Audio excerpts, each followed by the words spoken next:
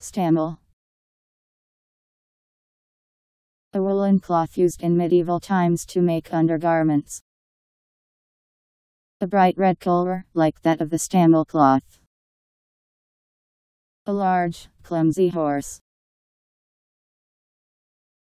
S T A M M E L.